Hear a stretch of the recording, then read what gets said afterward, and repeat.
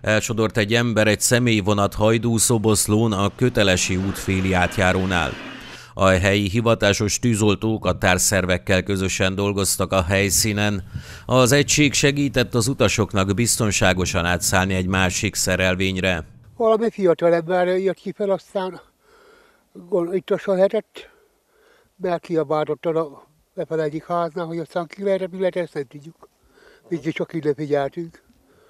Az Országos Mentőszolgálat kommunikációs osztálya érdeklődésünkre közölte, hogy a helyszínről egy 25 év körüli férfit könnyebb sérülésekkel szállítottak stabil állapotban kórházba.